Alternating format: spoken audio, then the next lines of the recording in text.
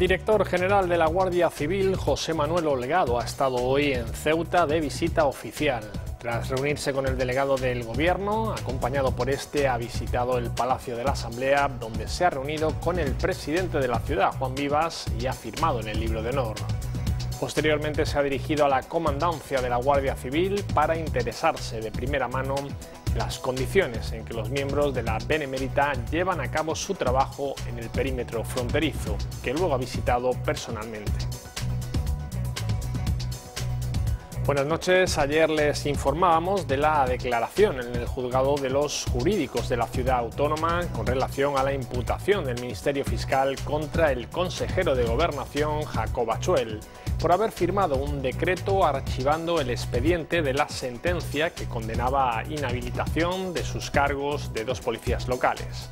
Pues bien, Radio Televisión Ceuta ha podido conocer que el decreto del consejero cuenta con un respaldo legal incuestionable.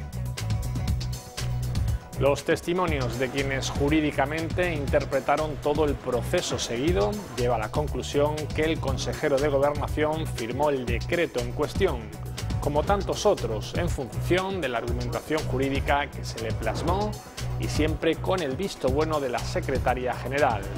El propio instructor del expediente, en su propuesta de resolución, propone ya el archivo o sobreseimiento del mismo que data del 30 de abril de 2015. No ha habido conformidad en la vista previa celebrada en el juzgado de menores por el asesinato del joven marroquí Ibrahim Arraoui el pasado mes de marzo por parte de varios menas. Las partes se han emplazado a juicio en la audiencia los días 15 y 16 de junio. El Ministerio Fiscal pide para el menor que lo apuñaló ocho años de internamiento cerrado más otros cinco de libertad vigilada. Bajo el lema Dejad que los niños se acerquen a la policía, este cuerpo ha visitado esta mañana el Colegio Príncipe Felipe para llevar a cabo una actividad de sensibilización. Los alumnos más pequeños han conocido a los agentes del Cuerpo Nacional de Policía y los recursos que utilizan en su trabajo habitual. Muchas veces tienden a los padres a asustar a los niños contra la policía, que te va a llevar policía, que si te coge la policía y tal. Y no, lo que queremos es contrarrestar ese efecto. ¿Por qué? ¿Por qué? Pues muy sencillo. Un pequeño que tenga cualquier problema, si está en la calle y está asustado con la policía, lo que menos va a hacer precisamente va a ser acercarse a la policía. Entonces lo que queremos es contrarrestar ese efecto. La liga acabó para la Unión África Ceutí el pasado sábado con el holgado triunfo ante la coineña que confirmó el tercer puesto para los blanquinegros y su consiguiente clasificación para la Copa del Rey. El entrenador de los unionistas, José Carlos Ayala Chito, ha hecho balance de una temporada que tuvo dos partes bien diferenciadas. Para mí ha sido de, notable porque el equipo se ha sobrepuesto a muchísimas circunstancias y hemos hecho al final una temporada que, en las primeras 10 jornadas ya prácticamente no contábamos con ninguna opción de estar entre los tres primeros clasificados. Son los grandes asuntos del día que ya les contamos junto al grueso de la actualidad este miércoles 24 de mayo. Comenzamos.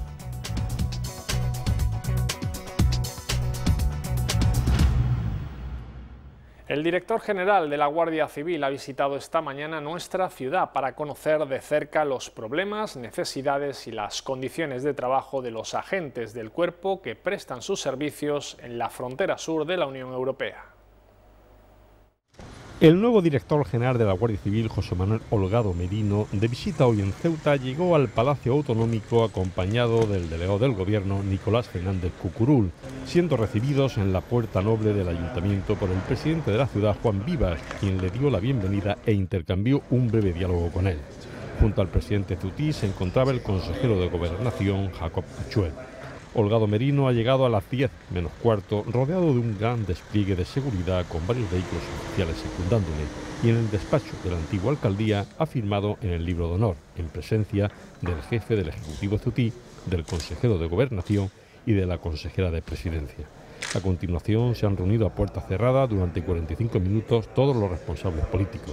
Pasadas las diez y media de la mañana, la comitiva, que acompañaba al director general de la Guardia Civil, emprendió viaje a la comandancia de la Benemérita, donde habían de reunirse con los responsables de la misma para conocer su problemática, problemas, necesidades y condiciones de trabajo de los agentes del cuerpo que prestan sus servicios en el perímetro fronterizo, antes de emprender visita de inspección a la frontera sur de la Unión Europea. El director general felicita a los guardias civiles por el excelente trabajo que desarrollan en la ciudad autónoma de Ceuta, especialmente en el control de la inmigración irregular. El director general de la Guardia Civil, José Manuel Holgado, se ha desplazado a Ceuta para mantener una reunión de trabajo con los mandos de la comandancia de la Guardia Civil en Ceuta. Además, ha mantenido una reunión con el presidente de la ciudad autónoma y con el delegado del Gobierno, con los que ha abordado diversos temas de actualidad en los que se ve inmersa la Guardia Civil. También ha visitado el paso fronterizo del Tarajal. El director general de la Guardia Civil, José Manuel Holgado, ha mantenido en el día de hoy una reunión de trabajo con los mandos de la Comandancia de la Guardia Civil de Ceuta, en la que ha podido conocer de primera mano su estructura, organización y problemática. Además, Holgado ha mantenido sendos encuentros con el presidente de la ciudad, Juan Jesús Vivas, y con el delegado del Gobierno en Ceuta, Nicolás Fernández Cucurul, con los que ha abordado diversos temas de actualidad en los que se ve inmersa la Guardia Civil. También ha visitado el paso fronterizo del Tarajal, donde ha podido comprobar in situ el complejo trabajo que desarrollan las fuerzas y cuerpos de seguridad del Estado para garantizar la seguridad en un lugar por el que transitan diariamente miles de personas que acceden desde Marruecos. José Manuel Holgado ha destacado que quería visitar Ceuta ya que es consciente de las especiales circunstancias en que la Guardia Civil desarrolla su trabajo en nuestra ciudad, que al igual que Melilla son frontera sur de Europa y quería conocerlo de primera mano.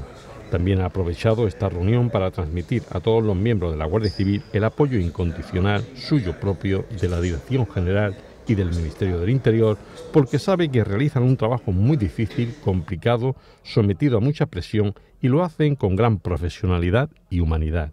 Durante 2016, 859 inmigrantes entraron irregularmente en territorio nacional, vulnerando el perímetro fronterizo de Ceuta, mientras que en lo que llevamos de este año han sido 869 los inmigrantes que han accedido. Por otro lado, el pasado año fueron interceptados en el mar 494 inmigrantes, mientras que en lo que llevamos de año lo han sido 55. La Guardia Civil en Ceuta cuenta con más de 600 efectivos y está estructurada en dos compañías, la Compañía de Ceuta y la Compañía de Fiscal. Además cuenta con las especialidades de Policía Judicial, Información, Servicio Cinológico, GEDEX, GRS, EPRONA, Intervención de Armas y Servicio Marítimo Provincial. La visita del director general de la Guardia Civil, José Manuel Holgado, hoy a Ceuta ha decepcionado al secretario general del PSOE Ceutí, Manuel Hernández, al no tener a su juicio intención alguna de dar respuesta a la ciudadanía sobre los problemas estructurales derivados de la situación actual de la frontera. Un encuentro que se esperaba con muchas expectativas que finalmente se han visto totalmente frustradas, según Hernández y es que Holgado ni siquiera ha realizado rueda de prensa ni comunicación alguna a los ceutíes. Bajo el lema Dejad que los niños se acerquen a la policía, este cuerpo ha visitado esta mañana el Colegio Príncipe Felipe para llevar a cabo una actividad de sensibilización. Los alumnos más pequeños han conocido a los agentes del Cuerpo Nacional de Policía y los recursos que utilizan en su trabajo habitual. El Cuerpo Nacional de Policía pretende con estas visitas a los centros escolares de la ciudad acercar este colectivo a los más pequeños. Fundamentalmente porque lo que queremos es contrarrestar aquellos efectos que se producen a veces por una mala un mal, uso, digamos, de, la palabra policía, incluso de la figura del policía respecto a los menores. ¿Por qué? Porque muchas veces tienden a los padres a asustar a los niños contra la policía, que te va a llevar policía, que si te coge la policía y tal. Lejos de conseguir ese efecto, los niños y niñas ven a la policía como un elemento de seguridad en su entorno, por lo que también es importante inculcarles el respeto hacia esta profesión. Eso vaya en la condición, evidentemente, de la formación que le dispensa a su propia familia y a la misma vez eh, pues, aquella, aquella educación que se le dispensa dentro de los centros escolares.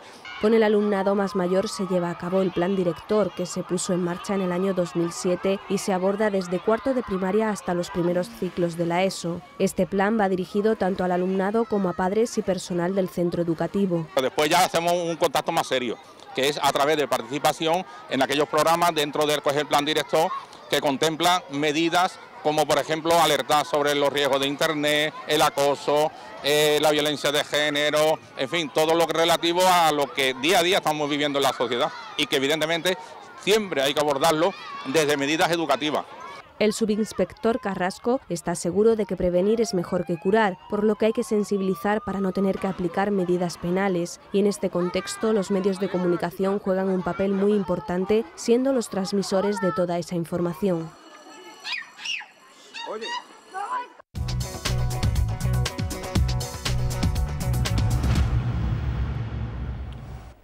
Será finalmente los días 15 y 16 de junio cuando tenga lugar el juicio a los menores tutelados por la ciudad que presuntamente agredieron y asesinaron a un joven marroquí en el mes de marzo en la playa de la Ribera.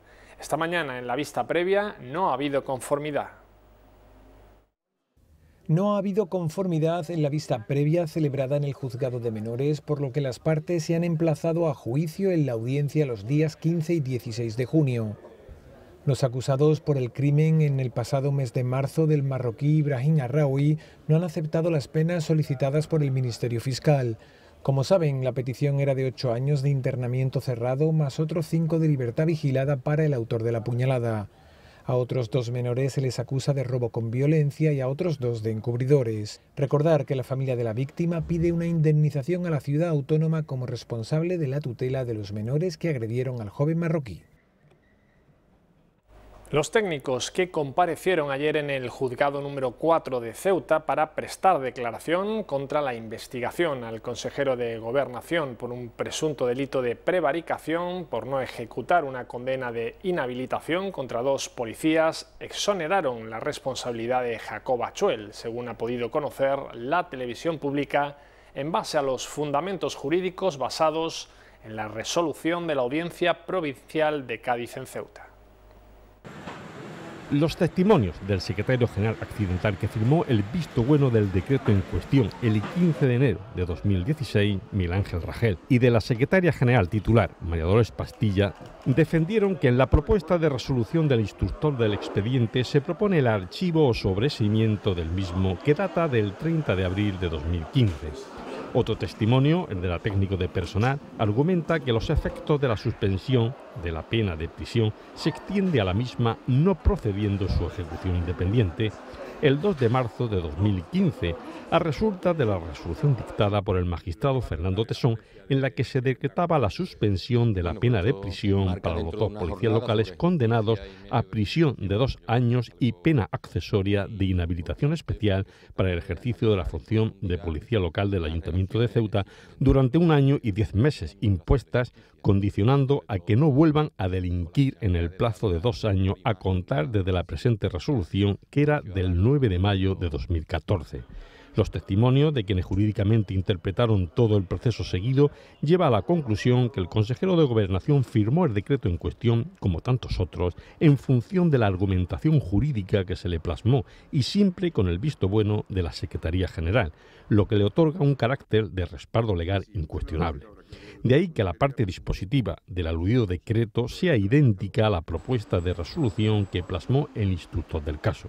Es obvio que todos los acuerdos que requieren un precepto legal es trabajo de los técnicos que entienden de los principios jurídicos a aplicar, ya que el político ha de contar con su visto bueno que respalde la decisión adoptada. El consejero de Medio Ambiente y Sostenibilidad, Emilio Carreira, ha pedido esta mañana un aplazamiento de su declaración en el juzgado de instrucción número uno con objeto de que su abogado pueda estudiar la documentación de la denuncia. Una denuncia que fue interpuesta por MDIC por presuntas irregularidades en la adjudicación del servicio de depósito de vehículos. Carreira declarará a finales de junio.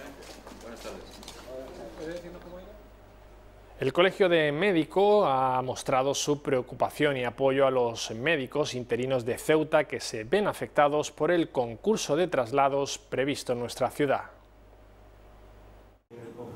El ilustre Colegio Oficial de Médicos de Ceuta manifiesta su apoyo y preocupación por los médicos interinos de nuestra ciudad afectados por el concurso de traslados que tiene previsto convocar el INGESA. El colegio teme que esta inquietud ante su estabilidad laboral anime a los médicos interinos de Ceuta a buscar otras interinidades en la península. De hecho, varios colegiados han recibido llamadas para cubrir vacantes en la península. Aseguran que esta situación de incertidumbre laboral amenaza con incrementar la marcha de especialistas fuera de Ceuta algo que ya viene ocurriendo desde hace algo más de un año y que pondría en riesgo una correcta atención sanitaria y la continuidad asistencial en Ceuta. El colegio además entiende que esta medida no beneficia ni incentiva el arraigo de estos profesionales que desean seguir trabajando en nuestra ciudad y que será un problema que afecte tanto a médicos como a pacientes. Por ello, desde la institución colegial instan a las autoridades competentes a buscar y dar una solución a este problema y que se dé una estabilidad laboral tal y como recogió recientemente una sentencia del Tribunal de Justicia de la Unión Europea en aras de una asistencia sanitaria de calidad.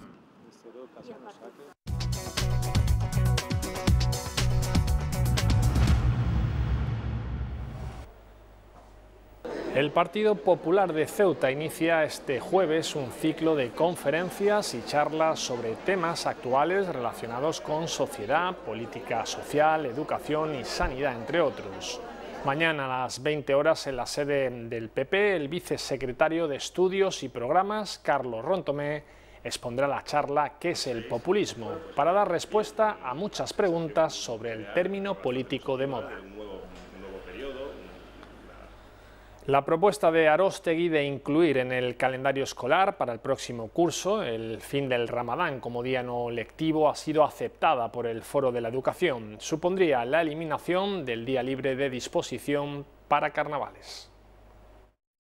Eh, curso académico próximo, la, fiesta del Día del Sacrificio, la fiesta del Borrego, cae, me parece que a finales de agosto y por lo tanto no tenía impacto en el calendario escolar, de modo que, bueno, de alguna manera teniendo en cuenta que la mayoría de nuestro alumnado ¿eh? porque hoy en día es así, la mayoría de nuestro alumnado es de religión musulmana y que la fiesta del borrego caía en, en, verano y por lo tanto no impactaba en el, en el calendario escolar, pues el foro ha tenido en general a bien considerar el incluir la fecha del 15 de junio, que en este caso pues celebraría el, la ruptura del ayuno en el final del Ramadán.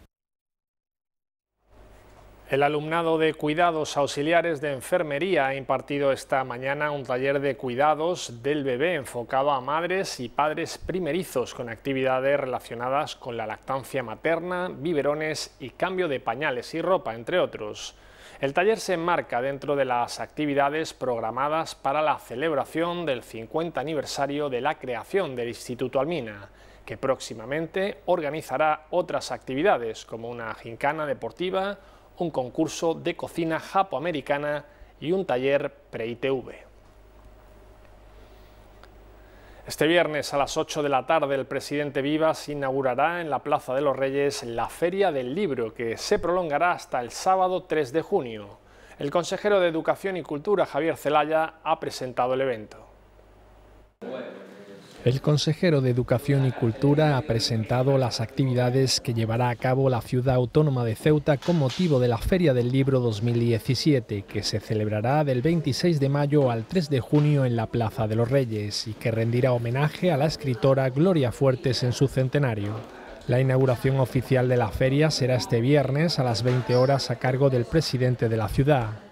Participarán 15 autores, foráneos y locales y habrán 10 casetas principales entre librerías y editoriales. Tenemos 10 casetas principales que en, este, en esta edición están ocupadas bueno, por las librerías Crispy, Sol y Totem de nuestra ciudad. Luego tenemos también el Hogar de la Biblia. Este año hemos perdido la librería diocesana que ha cerrado, ¿no? y entonces es, eh, bueno, en este caso una pérdida respecto al año anterior. Y además de estas librerías, pues tenemos a la editorial Avant, ¿no? de, Ezequiel Teodoro. Además de las editoriales Planeta y Millennium, así como la Asociación Alidrisi y el Club Verso. Una cita obligada con la cultura y el mundo de los libros que requiere de la participación de todos. También participativa, que puede ir toda la familia y que las actividades mm, dentro de lo que es la Plaza de los Reyes son muy diversas Eh, hay que destacar incluso que hay un taller de, cocina para los niños el, sábado. También habrá talleres, cuentacuentos, actividades con escolares y espectáculos varios, además de contar con la inestimable colaboración de la Biblioteca Adolfo Suárez, la Banda de Música Ciudad de Ceuta y la Escuela de Esgrima. Vicente Pledel y Marian Ocaña son los dos ceutíes que están a punto de iniciar la expedición ceutí de la ruta Gengis Khan, una ruta que explorará una zona del mundo de la que se sabe muy poco y a la que muy pocos españoles han conseguido llegar. Esta marca los 25 años de expediciones que están unidas a Ceuta desde la ruta de Alejandro Magno en 1992 desde nuestra ciudad al Himalaya. La ruta Gengis Khan llevará a los ceutíes Marian Ocaña y Vicente Pledel hasta Mongolia, a la inversa que el legendario conquistador partirán de Europa para llegar a la cuna de Gengis Khan. Para llegar hasta allí atravesarán desiertos como el de Gobi o países como Siberia o Uzbekistán. Para llegar hasta Mongolia, la ruta es bastante larga. En las primeras etapas por Europa serán para ir directo hasta el primer país que realmente vamos a recorrer y vamos a conocer más profundamente, que es Moldavia. Desde Moldavia vamos a pasar a Transnistria, que es un pequeño país que se separó de Moldavia y que nos va a permitir la transición hacia Ucrania. Después de Ucrania pasaríamos a Bielorrusia, Lituania, Letonia, Estonia, Rusia, entraremos por San Petersburgo para llegar hasta Moscú y luego poco a poco iremos recorriendo toda Siberia para finalmente eh, entrar en Mongolia. Para regresar a Europa no emplearán el mismo camino. De Mongolia regresamos otra vez a Rusia y entramos lo que llamamos el recorrido de los Istán, porque entramos a Kazajstán, entramos a Kirguistán, a Tayikistán, a Uzbekistán y a Turkmenistán. Y ahí entramos en Irán. Y luego ya de Irán regresaríamos normalmente por Turquía y cruzar otra vez Europa. La ruta tendrá una duración de entre 10 y 12 meses. Para ella han tenido que preparar y adaptar el vehículo. Nosotros, debido a la dificultad extrema de la expedición, hemos tenido que hacer bastantes modificaciones. Le hemos tenido que cambiar, por ejemplo, la amortiguación por una de gas muy fuerte, y le hemos reforzado los muelles también, hemos protegido todos los bajos ante posibles impactos que pueda haber con rocas y del mismo modo hemos adecuado todo el interior pues con una serie de cajas y compartimentos para tenerlo todo ordenado y todo en seguridad. En la parte superior llevan instalada una tienda de campaña en forma de vaca. En otras expediciones han pasado hasta tres meses durmiendo en este hotel especial. Este año cumplen 25 años realizando expediciones, siempre partiendo desde Ceuta y llevando su bandera a los lugares más inverosímiles. Comenzamos en el año 92 con la ruta de Alejandro Magno y a lo largo de estos 25 años hemos estado realizando otras rutas como la ruta Reina de Saba, la ruta de civilizaciones eh, perdidas de África, los confines de África, dimos la vuelta al mundo durante cuatro años con la ruta de los imperios. Marian y Vicente invitan a todos los ceutíes a seguir sus aventuras a través de Facebook y de su blog de viaje.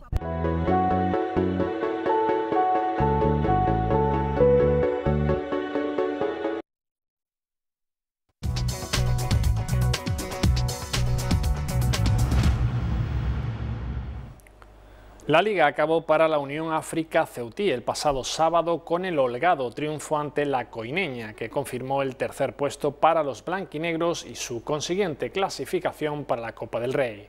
El entrenador de los unionistas, José Carlos Ayala Chito, ha hecho balance de una temporada que tuvo dos partes bien diferenciadas.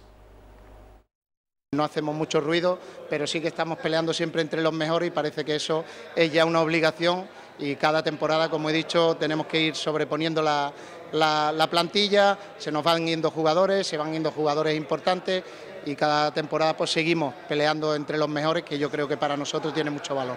Chito recuerda que las bajas de última hora en la plantilla, así como las lesiones, mermaron al equipo en una primera vuelta en la que se descolgó de la cabeza y perdió ya toda opción de luchar como pretendía por el título.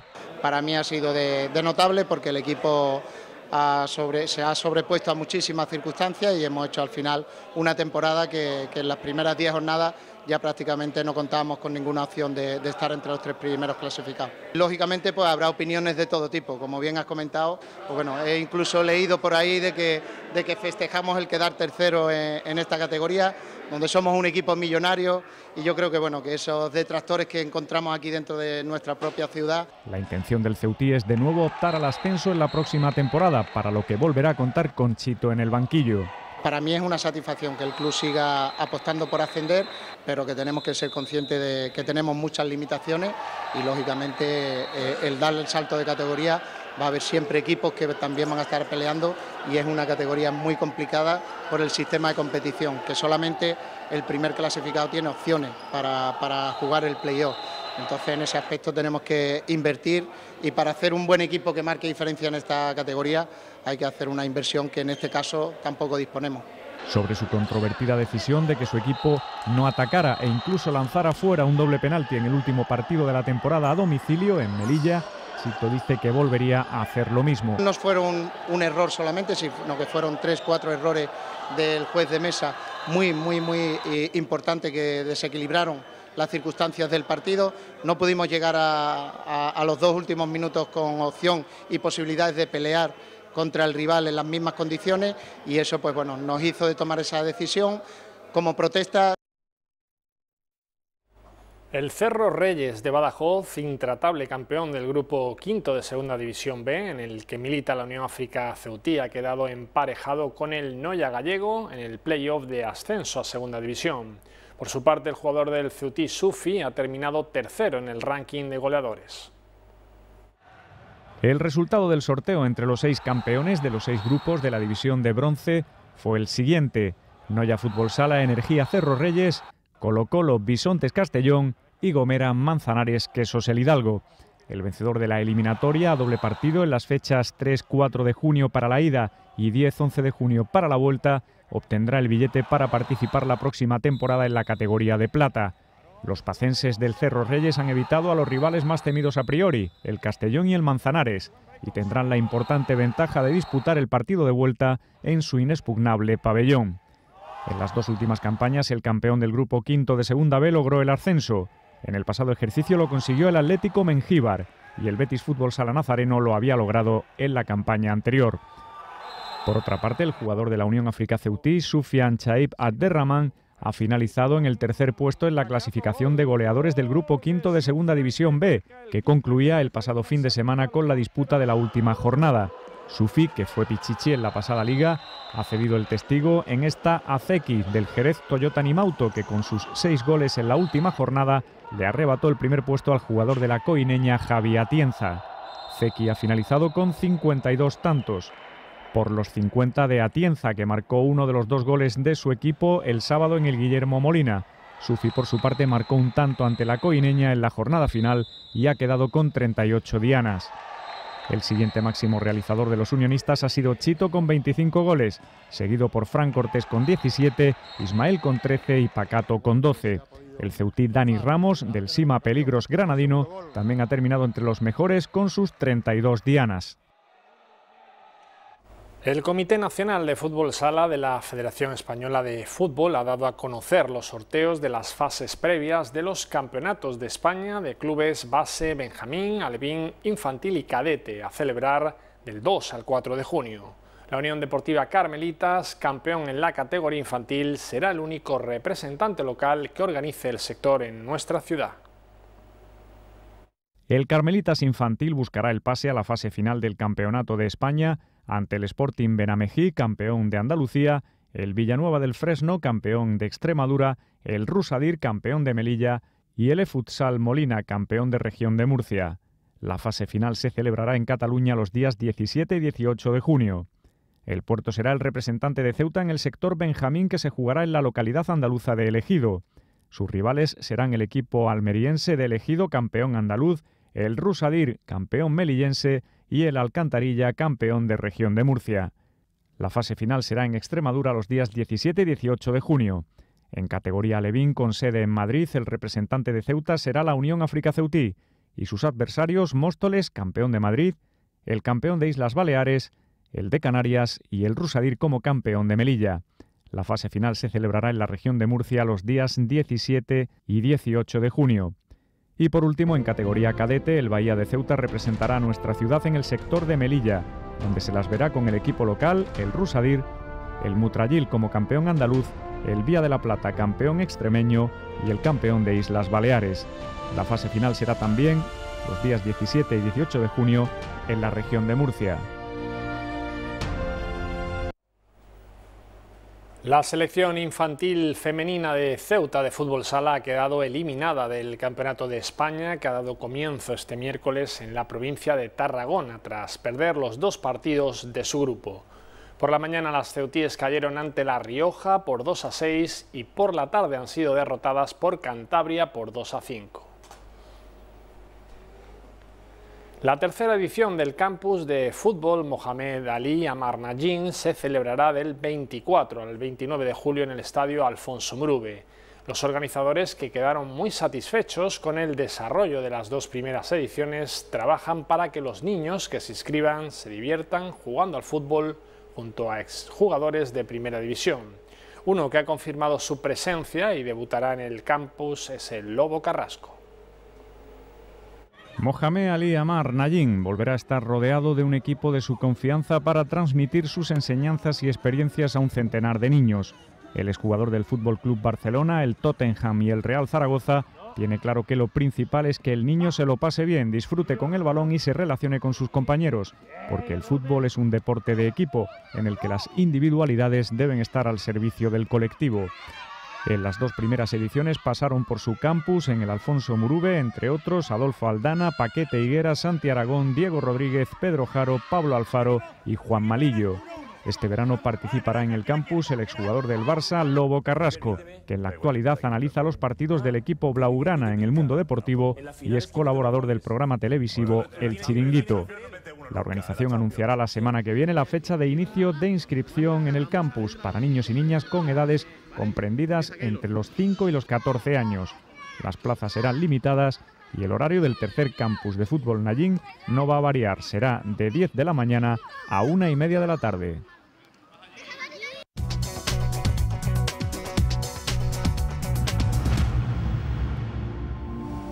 Vamos ya con las previsiones meteorológicas para los próximos días.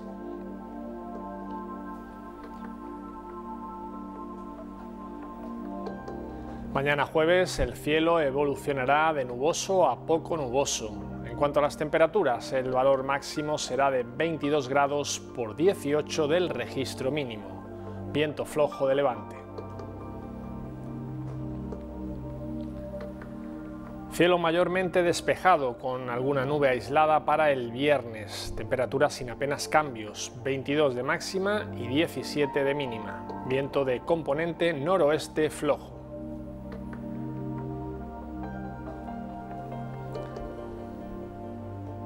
La farmacia de guardia esta noche es partida en el Paseo del Rebellín número 7.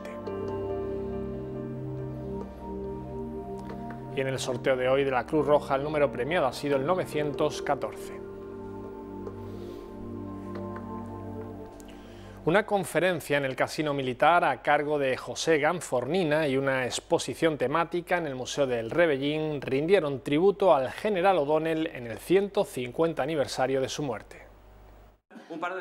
El Casino Militar de Ceuta acogió la conferencia O'Donnell y la Guerra de África 1859-1860 a cargo de Francisco José Ganfornina, historiador de arte y especialista en historia militar. Se encargó del traslado de tropas hasta Ceuta, no sin dificultad y acompañó la marcha del ejército por todo el litoral, dando apoyo con sus 329 piezas de artillería que embarcaba lo que se puede considerar como la primera acción conjunta de la Armada y el Ejército de Sierra. Todo ello mandado por nuestro general O'Donnell. La conferencia que homenajea el 150 aniversario de la muerte del insigne militar está encuadrada dentro de los actos conmemorativos que la Comandancia General de Ceuta y el Centro de Historia y Cultura Militar de Ceuta organizan con motivo del Día de las Fuerzas Armadas. O'Donnell se enfrenta al ministro de Gobernación, entre otras cosas porque la milicia nacional fue la que estuvo reprimiendo estas, estas eh, revueltas, se enfrenta al ministro de Gobernación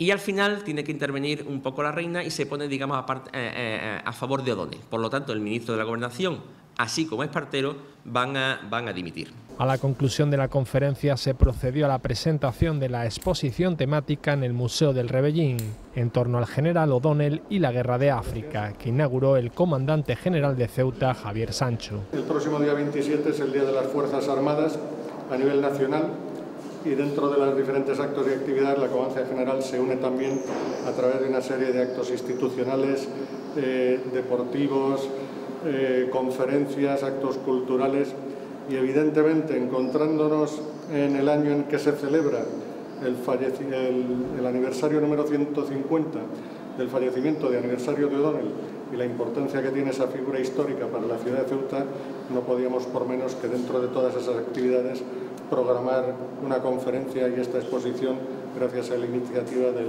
Centro de Historia y Cultura Militar. La muestra que permanecerá abierta al público hasta el 1 de junio recoge varios paneles en los que se representan distintas actuaciones militares llevadas a cabo por el general durante la campaña de África, como el desembarco en Ceuta y la ocupación del Serrallo, además de escudos de unidades y diferentes instrumentos militares.